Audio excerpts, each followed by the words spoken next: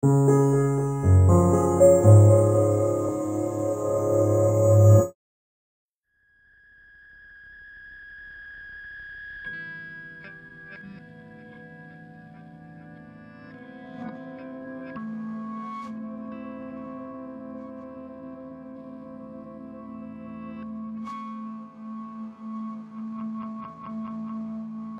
a sculpture made out of hope.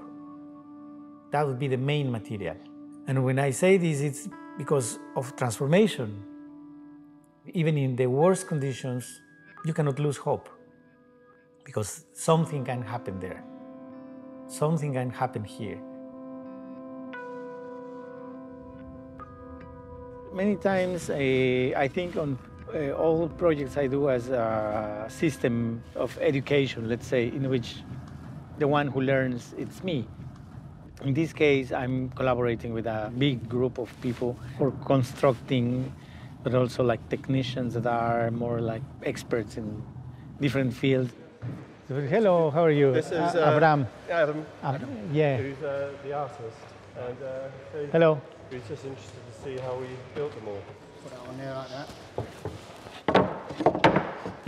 Uh, can I make one?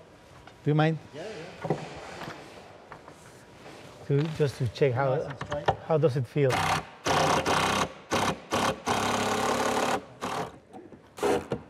It's also easy to think that you know everything about all things related to your project, but it's not true. In my case, I know very little about everything, so it's always an opportunity to learn.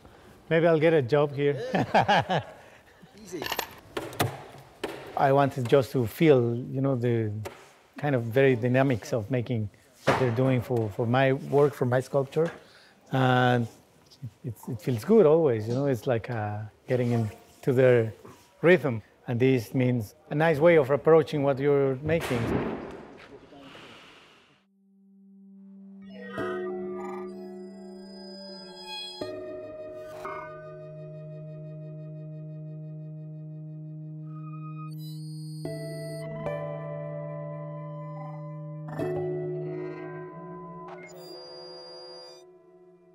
I mean, the idea originally was just very simple. Like uh, I was trying to summarize, let's say, or to make a synthesis of everything I've made in life as an artist. I wanted to, to do that by the simplest of the ways. So I thought I should make an empty lot, having a piece of land where I plant nothing, and then just I will allow myself to witness what can grow there out of nothing just the soil, I mean. I thought of it as kind of a self portrait, but not making a representation of myself or my persona. That's boring. It's more about the self.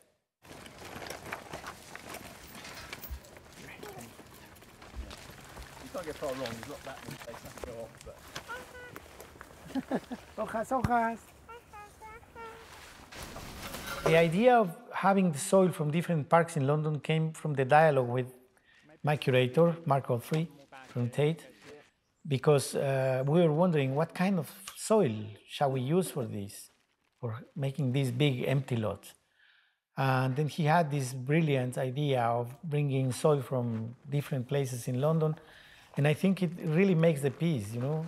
It's different from the, the soil we, we took from Peckham and the one we took from the Horniman. This is more like a clay. And so I think it, it, these all make together or could make a, a possible portrait of the city with all its differences. Vente, trae tu bolsa, Ana.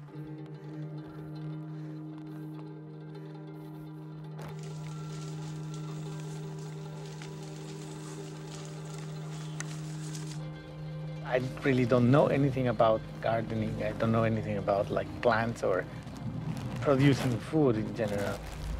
It's more about like uh, wondering and hoping. So I hope something will grow there, you know. This is the way I work normally in general, improvising with materials and not knowing. And this not knowing is, is, is very important for me because it's what produces more and more questions.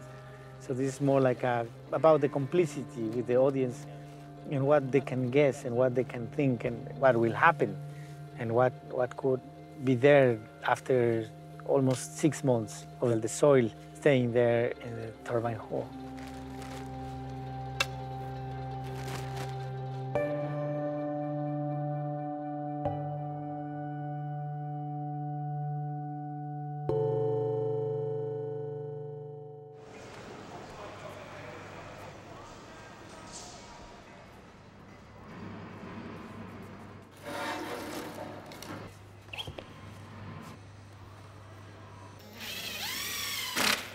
We've been working making these structures with found material from London, from different parts of the city.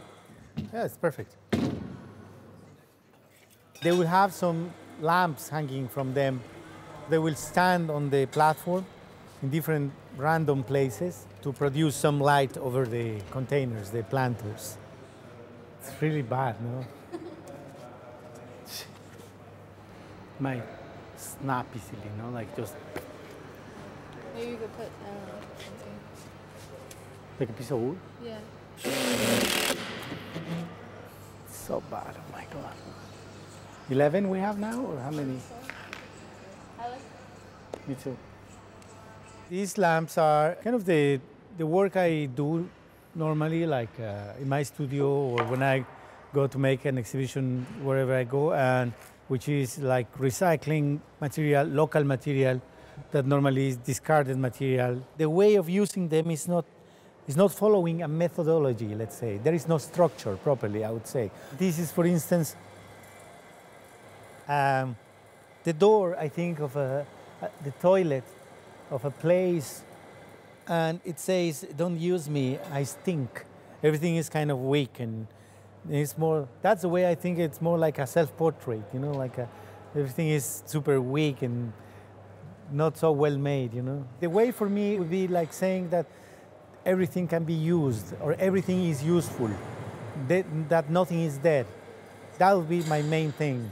More than proving that I can make anything with my hands, it would, it would be like testing that everything is alive.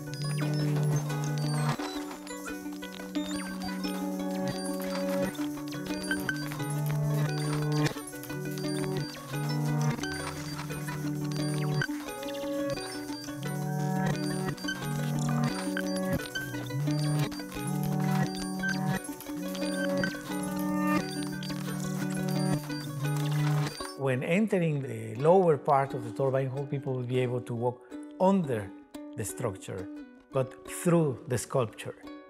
So scaffolding is not only holding the structure, it's part of the sculpture. And this is a very main thing for me because I always refer to my work as a conceptual, ideological scaffolding. But it's been always a metaphor. Now it's not. Now it's there.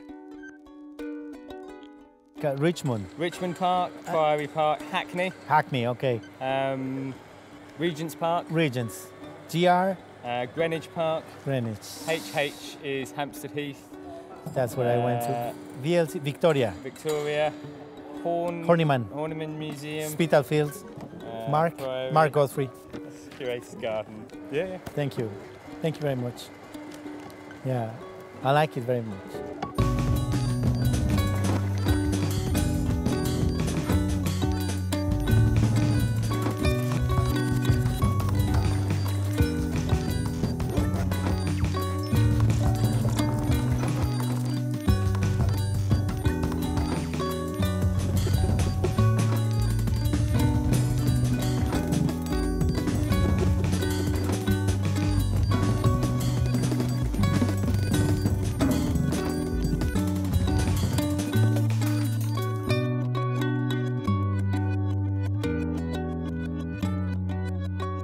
There is no chance for mistake. Whatever it happens, it's okay. Because if something grows, I will be absolutely happy, pleased, proud. But it's not because of me, it's because it's kind of confirming something I believed in, because of hope. And then if nothing grows, I will be very happy as well because uh, there is something happening anyways maybe you don't see it but it's happening there